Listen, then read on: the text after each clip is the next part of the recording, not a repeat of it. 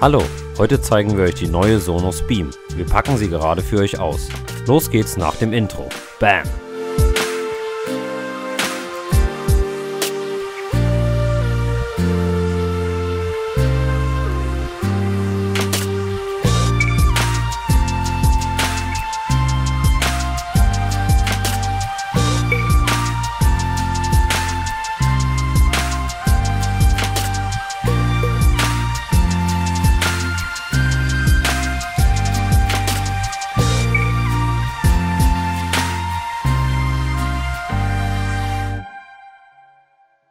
Hallo, heute zeigen wir euch die neue Sonos Beam.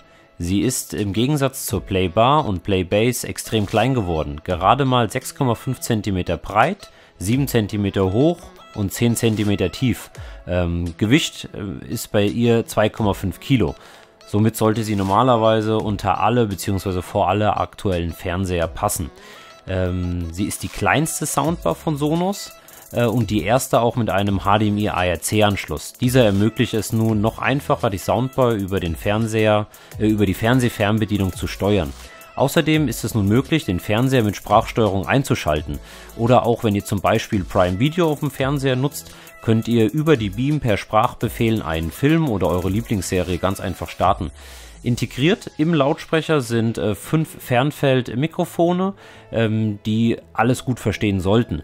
Aktuell ähm, lässt sich die Beam mit Amazon Alexa Sprachsteuerung bedienen. Ende des Jahres sollen jedoch weitere Sprachassistenten folgen.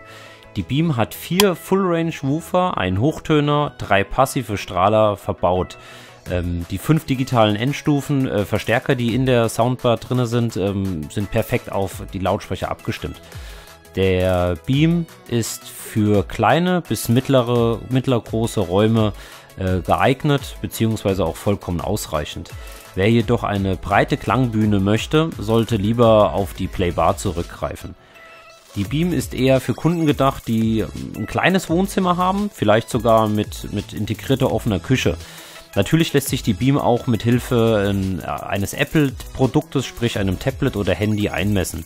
In der Sonos App lässt sich im Nachhinein aber natürlich äh, wie gewohnt der Ton auch immer noch verändern.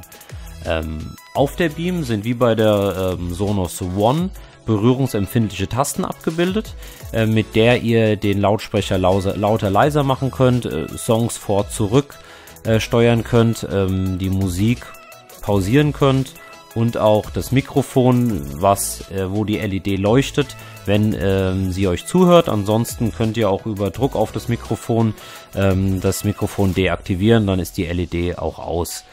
Ähm, ich zeige euch die Beam gerade mal von der Rückseite, dass wir auch mal die Anschlüsse sehen.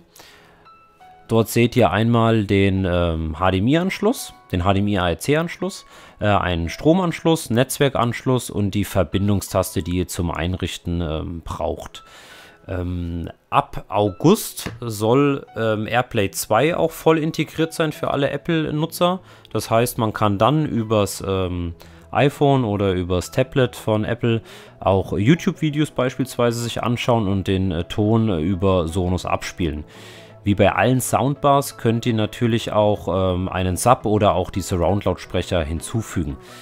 Im Lieferumfang enthalten ist ähm, ein Stromkabel, ähm, das HDMI-Kabel und ein Adapter von HDMI auf äh, Toslink. Gerade sehr interessant für alle Nutzer, die einen Fernseher haben, der eventuell noch keinen HDMI ARC unterstützt, ähm, aber den optischen Anschluss dafür dann natürlich den Ton in die Soundbar geben kann.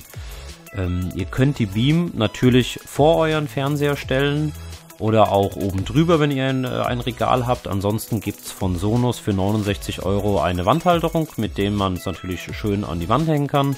Oder von der Firma Flexon für 119 Euro gibt es eine Wandmontage, die ihr dann sogar neigen könnt oder auch zum Beispiel unter einem Schrank fixieren könnt, wenn ihr es zum Beispiel in die Küche hängen wollt. Die Beam ist ab sofort im Handel für 449 Euro erhältlich und wird es in schwarz und auch in weiß äh, geben. Falls ihr Fragen habt, die wir jetzt in diesem äh, Review noch nicht beantwortet haben, äh, habt einfach ab in die Kommentare. Wir werden sie dann zeitnah beantworten. Äh, vielen Dank fürs Zuschauen, macht's gut.